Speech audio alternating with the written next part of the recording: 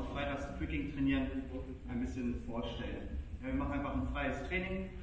Ihr könnt gerne zuschauen. Ja. Äh, wenn ihr Fragen habt, gerne zu mir oder zu den Trainern, können wir auch ein bisschen sprechen. Ansonsten geht es vor allem heute ein bisschen um die AirTracks, die haben wir jetzt ganz neu bekommen.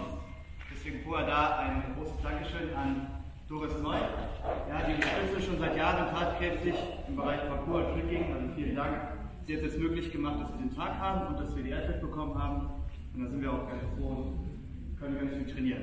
Ja, also viel Spaß. Dankeschön.